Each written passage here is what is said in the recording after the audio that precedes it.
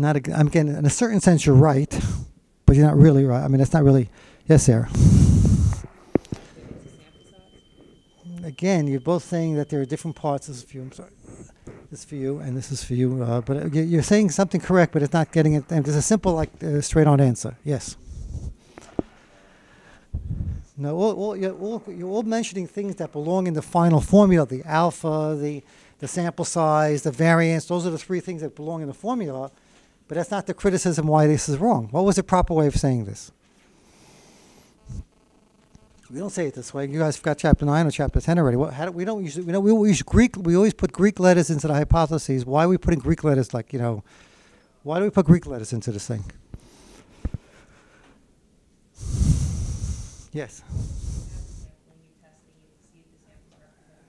Right. In other words, what we we know what the average is. The average might be 4.6. The average might be 3.8. The average might be. There's no question what the average is. The average is whatever whatever the number is in front of your face. What the question we have is, in the whole population, what is the average of that population? So the, the hypothesis testing is always about population numbers. And the population average is mu. This already should look more familiar to everybody. So people who put down X bar would be partially wrong, but this is mu is the right symbol. So what is B1? Is B1 based on the sample or is B1 based on the population? It's based on a sample of numbers. You know, you plug it all in, et cetera, et cetera. So where is the popu- what's what's the Greek letter that would correspond to the B1 that represents something about the population? Now, at this point, I don't, I don't want you to guess because we didn't learn about it yet, or I said at the end of the last class. The answer is the following: If you would have a population, not just four. Let's say, for example, this is McDonald's, and they found out how many McDonald's are there in the world. I don't know thousands, tens of thousands. So, and they want to know is the. The more they put into advertising, the more sales they get for that particular local store. So they took four stores. Just I don't know why they only took four of them, but they took four of them. But really, what you really want to know about is, let's say, the the forty thousand stores. Let's say there are forty thousand. Can be forty thousand around the world. Yeah, maybe. Maybe. Okay. Let's say four thousand stores around the world. Um, all right. So if, now, if you graph the population not the sample, but you graph the McDonald's relationship between the advertising and sales in the whole population, where of course some stores sp- spend much more than eight and some make a lot more than that. You're going to get, instead of having four dots, now the population, you're going to have 4,000 dots. And this, let's say, for argument's sake, represents the 4,000 dots that you're going to get among the whole population. Now, of course, in real life, you never have the whole population. In the case of McDonald's, you can. I'm sure the central office knows all these numbers. But if you're measuring, for example, people's height and weight, you don't. You only have, let's say, 100 people across the whole world. You don't have all six billion numbers. But if you know, but imagine this is six billion people's heights and weights, and we have a picture like that. Now, of course, in real life, it wouldn't be that nicely a straight line. But let's assume, for argument's sake, that it is a straight line like that. Then you fit a straight line through it. So now the equation will not be any more y equals b0 plus b1x. Now the equation is we're making an actual prediction for the y value. We're not just trying to fit the straight line. We're saying that theoretically speaking, the y is equal to, now it's a straight line, so there's going to be like a y equals mx plus b, but we're going to call it beta 0 plus beta 1 times x. That's the first thing. So the, so the b0 corresponds, let's go back to the original formula, y hat equals b0 plus b1x. So the beta zero, so the b0 essentially, and again, if you had the whole population in front of you, and you can, you're trying to figure out what is the real, true amount of intercept for the whole millions of people, the whole population. So we don't know that number. We like to know that number for purposes of understanding all the data, but we calculate on our small sample and we get b. So b0 is an estimate for beta zero, and b1 is an estimate for beta one. And the problem is, as I told you, told you last time, that this equation can't be right because this equation is claiming that any particular y value can be pr- uh, predicted based on its x value by multiplying that number b1 and adding on to b0.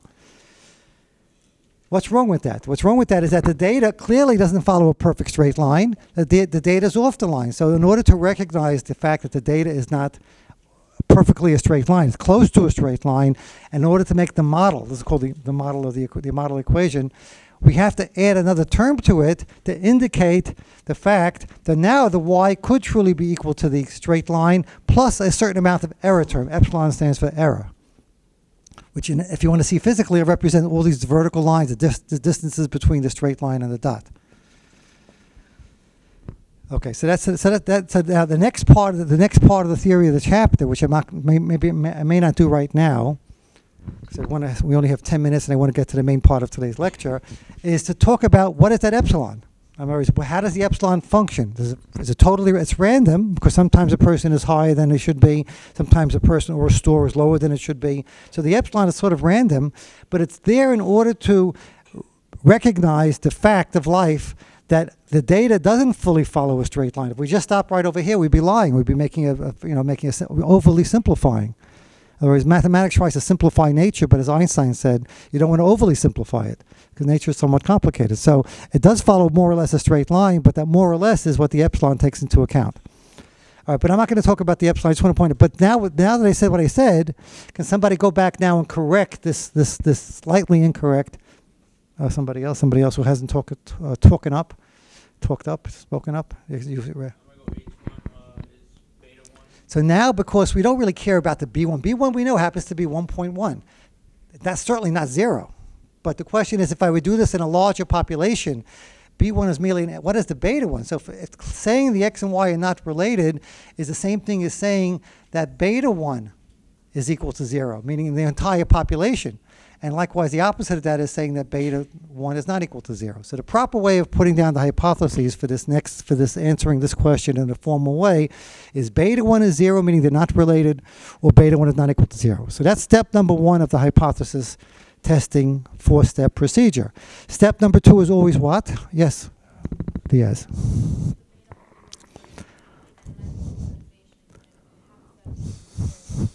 Nope, let's go back to this. If I was asking you the we have a random number table, and we want to know is this a good random number table or a bad random number table? So we say we do a hypothesis test. We take a sample of data, the x bar. If it's close to 4.5, we say we accept the H0. So, but how do we start off the whole process? We start off by saying H0, mu equal 4.5. So we're never analyzing, we're always analyzing the whole population. In other words, our ultimate goal in all of statistics is to know something about the whole population. But we always recognize we can't have access to the whole population. So instead, we always take a relatively small sample. That, that applies in this case, it applies in the same thing here. We really want to know about what's the relationship between all the stores and all the advertising and all the sales. But we don't can't we can't analyze all the stores in the world. We can just analyze maybe four of them or thirty of them or hundred of them. We can't analyze twenty five million. So so I hope I am, I'm answering your question. Okay. Next. What is step number two of every hypothesis testing problem? Raise your hand if you want to answer it. Yes? Nope. That could be that could be step number two, but I just my order was just changing. Yes. You do some calculation. In other words, step number one is you write down the hypothesis, usually some Greek letters. Step number two is you do a calculation with a formula. Step number three, you make a little graph, either the T diagram or the Q diagram or the chi-square diagram or the F diagram or the Z diagram.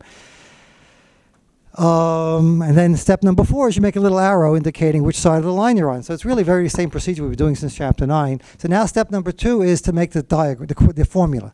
Now the formula is going to be called T, which means in step number three we're going to go to a T diagram. That makes it nice and familiar to us. But what do you think the formula is? Now, of course, like, you can get the formula by looking in the book. You get the formula by I don't know what else. But I'm asking you, what do you think will be in that formula? Mm-hmm. Like I always try to ask you, what and what what would you expect to see in that formula? Of all the symbols that we learned so far, what would you think will be in the which is well, what's going to be the main part of that formula? Roger, what? The answer is the B1 because the B1 is our best guess for what the beta one. If B1 is equal to 37,000, it's pretty much not going to be zero. If B1 is equal to 0.0003, maybe beta 1 is. So B1 itself is the key number here. So that's very good. Do I have a. Let me pass it back to um, Roger. So the formula starts out with the B1. But of course, it's not as simple as just B1 by itself. That would be too easy. It has to do with what else? It has to do with the sample size. If anybody want to raise their hand and say sample size, that's almost too easy to say because every formula has a sample size in it. What else do you think will be in that formula? Yes.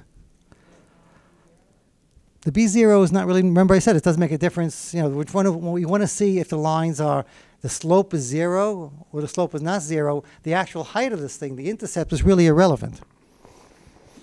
So the B zero turns out to be really irrelevant. I don't care if it's a high line. We really care about the angle, not not how high or how low it is. Okay. Let's view again. Yes. Uh, somebody else. Yes. The what? Wait, do you mean the x? The actual numbers, the x and the y? We never, we never, we never plug the, we never plug